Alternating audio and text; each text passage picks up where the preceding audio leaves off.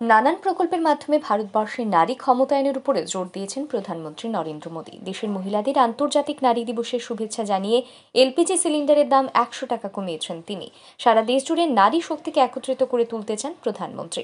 আন্তর্জাতিক নারী দিবস উদযাপন অনুষ্ঠানে উপস্থিত থেকে শুক্রবার এমনটাই বললেন ত্রিপুরা মহিলা মোর্চার প্রদেশ সভানেত্রী মিমি মজুমদার। ত্রিপুরা প্রদেশ মহিলা মোর্চার উদ্যোগে আগরতলা শহরের বরজলাস্থিত আপনাঘর বৃদ্ধাশ্রমে শুক্রবার উদযাপন করা হয় আন্তর্জাতিক নারী দিবস। এদিনের অনুষ্ঠানে উপস্থিত থেকে আপনা ঘরের বসবাসকারী সমস্ত মহিলাদের সাথে সময় কাটান মহিলা মোর্চার প্রদেশ সভানেত্রী মিমি মজুমদার। তাদের হাতে তুলে দিয়েছেন খাবারের প্যাকেট। দেশের মহিলাদের আন্তর্জাতিক নারী দিবসের শুভেচ্ছা জানিয়ে শুক্রবার সকালে সামাজিক মাধ্যমে একটি টুইট করেছেন প্রধানমন্ত্রী নরেন্দ্র মোদী। প্রধানমন্ত্রীর সেই বক্তব্য এদিন সবাইকে পড়ে শুনিয়েছেন মিমি মজুমদার। বলেছেন, শিক্ষা, কৃষি, প্রযুক্তি এবং আরও নানান উদ্যোগের মাধ্যমে নারীদের ক্ষমতায়নে প্রতিশ্রুতিবদ্ধ কেন্দ্রীয় সরকার। মহিলাদের সর্বাঙ্গীন বিকাশের জন্য বেটি বাঁচাও, বেটি পড়াও, জনধন যোজনা, উজ্জ্বলা যোজনা, প্রধানমন্ত্রী আবাস যোজনা, কন্যা সুরক্ষা সহ নানান কল্যাণমুখী সিদ্ধান্ত নিয়েছে কেন্দ্রীয় সরকার। একের পর এক প্রকল্পের মাধ্যমে নারী ক্ষমতায়নের বিষয়ে জোর দিয়েছেন প্রধানমন্ত্রী Narendra Modi.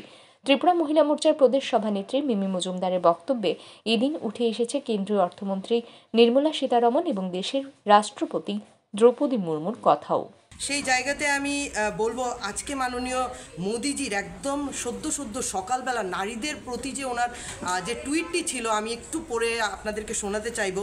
Greetings on international women's day we salute the strength courage and resilience of our nari shakti and laud their accomplishments across various fields Our government is committed to empowering women through initiatives in education, entrepreneurship, agriculture, technology, and more.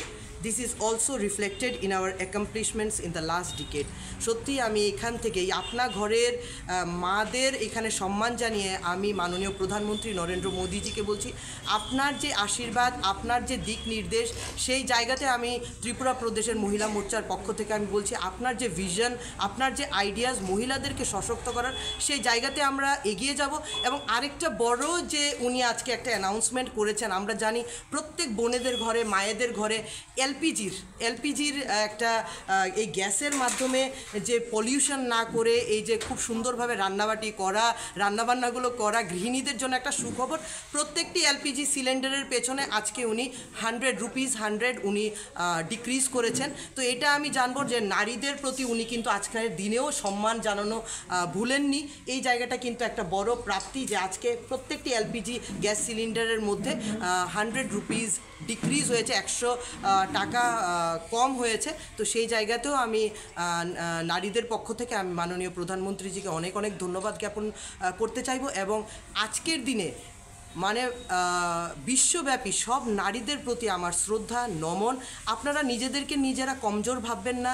সব জায়গাতে আমরা, একদম আমি বলতে চাইব যে, আজকে আমরা ভারতবর্ষে এরকম একটা জায়গাতে আছি যেখানে নারীরা পেট্রোল পাম্পের পেট্রোল দেওয়ার থেকে শুরু করে সেই রাষ্ট্রপতি দ্রৌপদী মুর্মু পর্যন্ত প্রত্যেকটা জায়গাতে কিন্তু আমরা নারীদেরকে দেখতে পাচ্ছি। আমরা দেখতে পাচ্ছি যে, আমরা যারা হয়তো নারীরা মনে করি যে আমরা অঙ্কতে কম বুঝি বা অঙ্ক আমাদের জ্ঞাত নয় ইকোনমিকটা আমাদের জ্ঞাত নয় সেই জায়গাতে আমাদের নির্মলা সীতারামনের মতো একজন অর্থমন্ত্রী আমরা ভারতবর্ষকে আজকে চার পাঁচ বছর ধরে উনি কিন্তু সেই অর্থনৈতিক ব্যাপারটাকে সামলাচ্ছে।